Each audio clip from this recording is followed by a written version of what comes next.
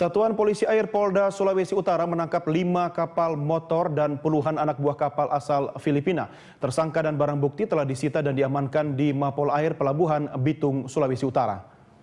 Kelima buah kapal dan puluhan ABK asal Filipina ditangkap di perairan Laut Sulawesi. Tertangkap Tersangka ditangkap karena membawa barang curian dan selundupan seperti minyak tanah dari Maluku. Kelima kapal itu juga tidak memiliki kelengkapan dokumen administrasi dan identitas. Tersangka dan barang bukti ditahan sementara di dermaga Polisi Air Polda Sulawesi Utara di Kota Bitung.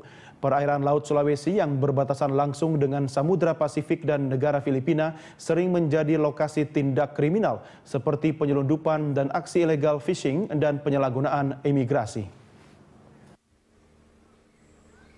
Kapal ini kami menangkap lima buah kapal di mana ada kapal yang terkait undang-undang pelayaran, keimigrasian dan juga terkait dengan undang-undang migas.